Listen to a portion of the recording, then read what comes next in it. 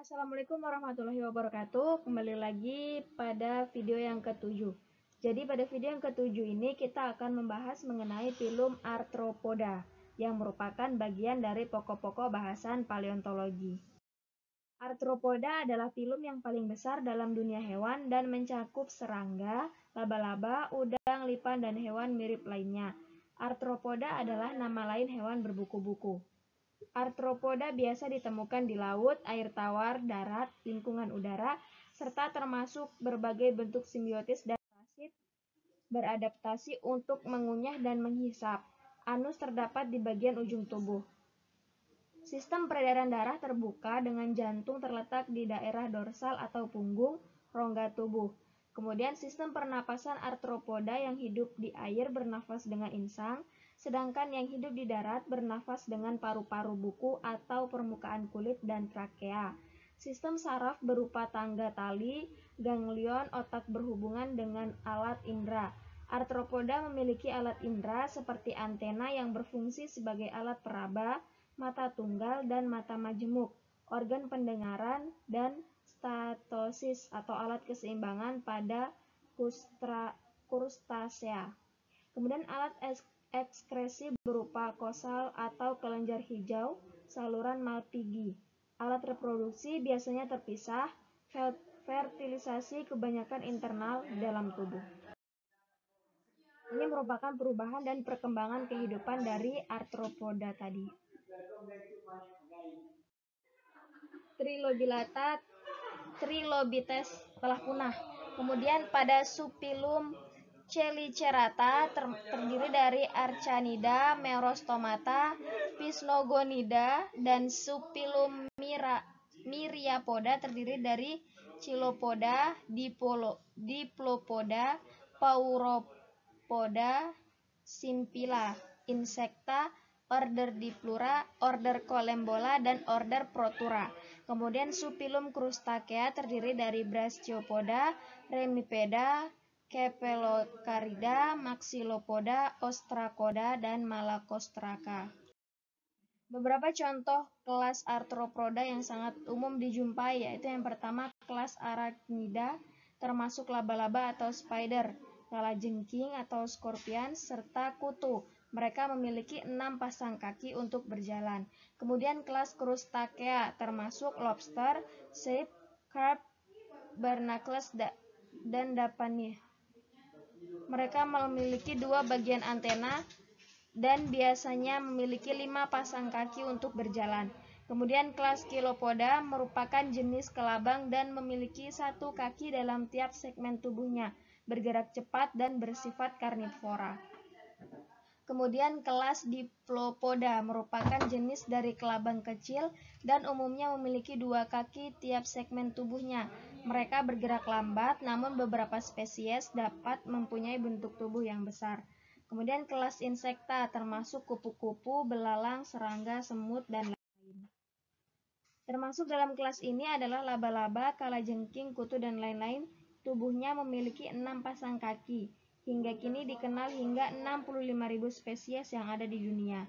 Kemudian ciri-cirinya memiliki dua bagian tubuh yaitu cephalothorax dan abdomen. Kemudian tidak memiliki antena. Yang ketiga, bagian mulut telah berkembang membentuk taring, contohnya laba-laba.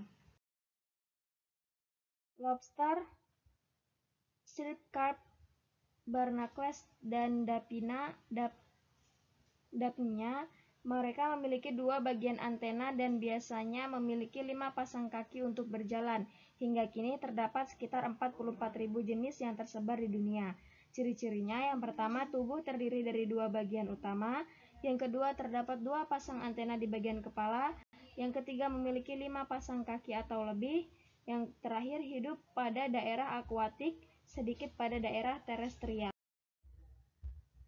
Nah, termasuk ciri-cirinya bagian kepala yang indah atau baik, sepasang kaki pertama telah bermodifikasi untuk meracuni mangsa, memipih dari bagian atas atau kepala hingga bagian bawah atau buntut, memiliki sepasang antena di bagian kepala. Merupakan jenis dari kelabang kecil dan umumnya memiliki dua pasang kaki tiap segmen tubuhnya. Mereka bergerak lambat, namun beberapa spesiesnya dapat mempunyai bentuk tubuh yang besar. Hingga kini terdapat sekitar 10.000 spesies yang tersebar di dunia. Ciri-cirinya memiliki dua pasang kaki pada tiap segmen tubuhnya, memiliki empat segmen pertama, hanya memiliki sepasang kaki.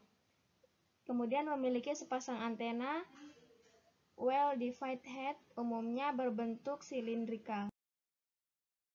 Termasuk di dalamnya adalah kupu-kupu, belalang, serangga, semut, dan lain-lain, dan memiliki spesies yang paling banyak tersebar di dunia hingga mencapai satu juta spesies. Ciri-cirinya yang pertama memiliki tiga bagian tubuh, yaitu kepala, torak, dan abdomen. Kemudian enam kaki pada bagian torak terdapat tiga segmen. Masa dewasa pertumbuhan memiliki satu atau dua pasang pada bagian toraks, beberapa jenis tidak ada. Kemudian memiliki dua antena dan mata yang bersifat lateral. Ini merupakan gambar dari bagian tubuh spesies tadi.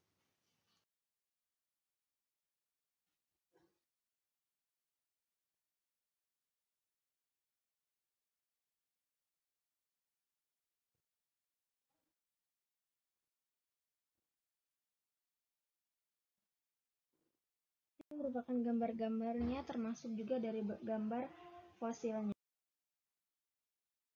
Ini juga merupakan fosil dari hewan tersebut. Ini fosil yang terdapat dalam batu Ini merupakan fosil trilobita dalam setengah setangan tubuh yang utuh.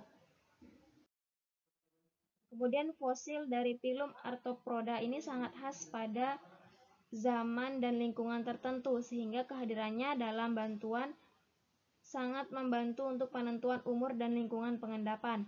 Sebagai contoh, fosil Trilobita yang merupakan hewan penciri dari zaman Kambrium. Trilobita zaman Kambrium nih. Ini contohnya Kambrian akhir, Kambrian tengah, dan Kambrian awal.